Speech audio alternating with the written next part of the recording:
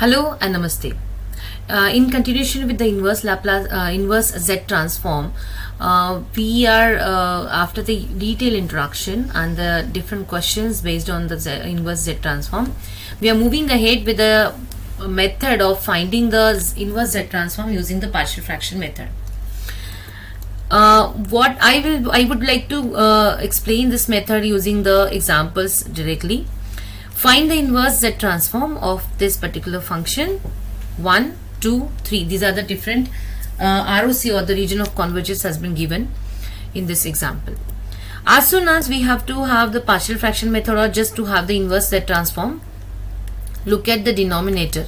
Denominator have a two brackets so we have to separate them out. This separation will happen using the partial fraction method. Partial fraction method because it's both of them are the linear factors over here. We can go ahead and use the hiding method for this particular partial fraction. We can easily check out this partial fraction. I'll be directly jumping to the partial fraction. It's coming out to be 1 upon z minus 3 minus 1 upon z minus 2. Please do follow the uh, ILT uh, uh, uh, partial fraction decomposition. This particular playlist for the this one. Uh, now in this case if we'll go ahead uh, with the case 1 mod of z is less than 2 then we can easily check that it's a mod of z less than 2 that means it's nothing but mod of z by 2 is less than 1 and if you observe 2 2 is less than 3 therefore mod of z is less than 3 that means mod of z by 3 is less than 1. That means what we have done in the previous case to solve the different questions based on the inverse Laplace trans uh, sorry inverse Z transform we have to first understand the ROC or the region of convergence here. And according to that we have to just go ahead. If you if you observe here we have to have z by 3 and z by 2 so same thing would happen here. In this particular first case in this particular first case we have to have 1 upon because I need denominator 3 so it's 3 by 3 into z minus 3. Similarly minus 2 by 2 into z minus 2. Then it could be reduced as 1 by 3 into 1 upon this is nothing but z by 3 minus this is z by 3 minus 1. So taking the minus sign out we will be having 1 minus z by 3. This is what we have written over here.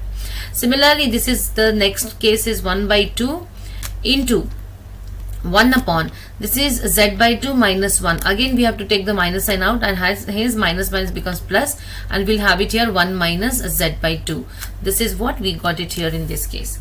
Then taking this term from the uh, denominator to the numerator it is 1 minus z by 3 to the power 1 1 minus z by 2 to the power minus 1 and then just expanding it according to the the expansion of 1 minus z to the power minus 1 that is 1 plus z plus z square and so on till the infinity. This is what the expansion we have done it here in the first. This is the value of this z by 3 and this is z by 2 we have found out this particular case. Now this can be written as if we will multiply this minus 1 by 3 inside this bracket we will be having this 1 by 2 multiplying with the, in the inside the bracket we will be having this particular form. Now if we'll write down the generalized term of this particular sequence suppose this is the first sequence we have got it in the line and uh, another sequence is this one. So in this particular first sequence if you'll observe here it's minus 1 by 3 minus 1 upon 3 square minus 1 upon 3 cube and so on for this. This can be written as as minus 3 to the power minus k minus 1 second series can be or second sequence can be written as 2 to the power minus k minus 1 into z to the power k. This is nothing but or you can say the inverse z transform of the particular function in the given ROC as minus 3 to the power minus k minus 1 plus 2 to the power minus k minus 1 as the particular function or you can say the inverse z transform. Now case 2 is 2 is less than mod of z is less than 3. Again the same case if you observe here 2 is let me explain you here here okay so first case is 2 is less than mod of z. This gives us 2 upon z less mod of that is less than 1 another case is this one that is and mod of z by 3 is less than 1 so if you observe here we have divided here by 3 and then second we have divided by z. The same case what we have done it here the same sequence or the, the same way what we have done it so far we have to do the same thing here also.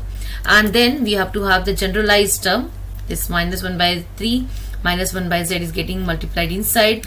We'll be having this one series and this is the another sequence or series what what we call it as. Now how this sequence uh, is been um, connected to each other you can check out over here this is minus z cube by 3 to the power 4 minus z square upon 3 to the power 3 and so on. This is minus 1 by z minus 2 upon z square and so on.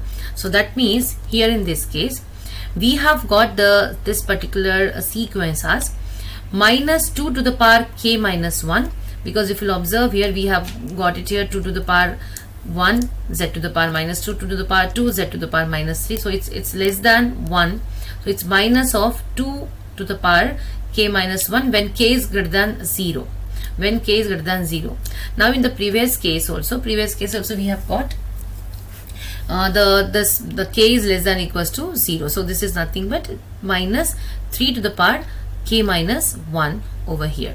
This is the previous case also we can have it here. This particular case also this particular case also we can have it. This this is k, k uh, 3 to minus 3 to the power k minus 1 and we can have it here. K is uh, greater than or equals to 0 because we have got all the powers of z on both the cases are equals uh, they are positive. Now this is also we have got it as this one. So minus 3 to the power k minus 1 k is less than equals to 0 over here now the case number 3 I think I have written here just a minute. Let me okay this is k less than or equals to 0 yeah. Let me just check. Correct. Okay fine. Because if you observe here this is the same series what we have got it or same sequence what we have got it in the previous case. So we can just have it the same way what we have defined over here in this case here. Fine. Now next case is mod of z is greater than 3 that means here we can have this type of relation.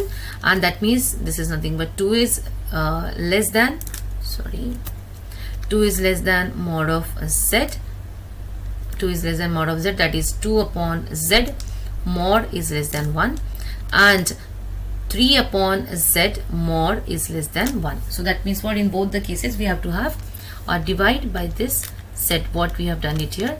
Same way what we have done it so far we can just go ahead and you will be understanding this is nothing but this type of series we are going to get it which is exactly opposite what we have got it in the previous case.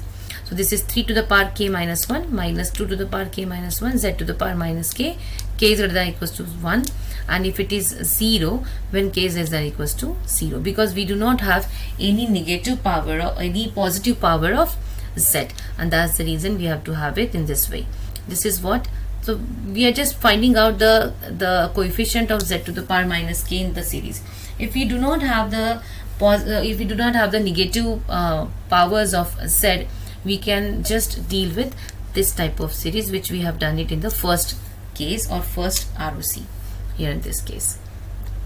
I hope you have understood the partial fraction. Why this is known as the partial fraction method? Because whatever the function has been given to us in the beginning, that can be converted in using the partial fraction and the separation would be done and after that the method would be going um, um, can be proceeded as what we have discussed for this particular one question.